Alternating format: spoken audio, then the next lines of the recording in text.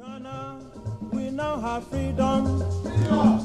Ghana, land of freedom.